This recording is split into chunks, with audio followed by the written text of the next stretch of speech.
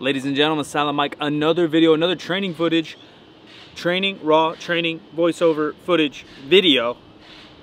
Today a special treat. Uh, these are kind of the workouts I like to call a feel-good workout. These are the workouts I've been doing on off days from my squats. Now, uh, goals are continue to slowly lose weight, maintain my weight, get a little bit leaner, continue to build some muscle while I can at this body weight. That's what I'm kind of eating at maintenance-ish, um, while my cardio is still fairly high to feel good.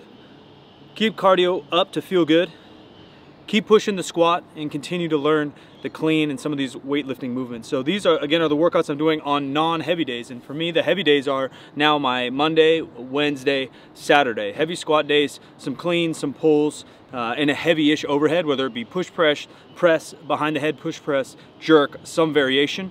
Uh, I am benching often, two or three times a week um, on top of these feel good days. So uh, I took a little break from training footage on the channel because I bought a house, we moved into it, we had a bunch of different things going on, and now you get to see what I've been doing during that time. Um, I want my joints to feel good. I want to feel good as a human. I want to feel good as an athlete. If you guys, maybe Connor will throw it in here. I just randomly dunked uh, a hat because that's all we had. I'm feeling light. I'm feeling athletic again. Um, so I want to keep it there. So today we got uh, basically an upper body day. I'm going to do no lower body besides some assault bike to get uh, some blood in my legs, feel a little bit, breathe a little bit, sweat a little bit. Um, but I have uh, one or two horizontal pushes, so I'm gonna do dumbbell push today. Uh, one, uh, two to three back movements, so I already did a set of pull-ups, uh, close grip, just to warm up my back.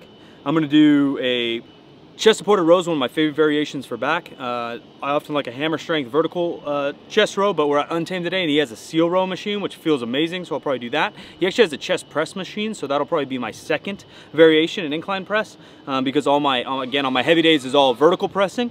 Um, and then I'll finish out with arms. Get a little pump. I always want to continue to look like I lift, even though some of you may disagree. I'm a little bit bigger in person than on this camera. I'm not that good at posing or angles or getting naked, um, so that's the goal. How we program it is uh, fairly simple. I like to keep the same group of exercises for anywhere from four to maybe even 16 weeks, and I like to slowly progress on them, whether I get a rep or a set or go a little bit heavier. Just every week I'm trying to push myself. I'll do two to three working sets with a bunch of warm-ups. The bunch of warm-ups for me are basically uh, what I call the feel-good sets. I get a nice pump before I even get to the heavier weights, so then my joints and everything feels really fresh for that working weight and also feels fresh tomorrow. Same reason I'm doing cardio, loosens up my hips. Uh, we squatted heavy yesterday, another another comeback squat PR plus a bunch of heavy cleans. So my legs just get tight or sore after that. And uh, doing some assault bike, walking, biking uh, outside, that kind of gets the flush going uh, and mentally feels good for me to move almost every single day. I am going on vacation, so uh, we have a bunch of these videos stocked up, so we won't miss any videos but I'm going to try to train on vacation, um, going to a family wedding in Florida, uh, and then doing a little bit of vacation things with my mom. First vacation in a long time, so it should be a lot of fun, but I'm still going to try to get uh, at least two squats in that trip. I'm gone for about a week,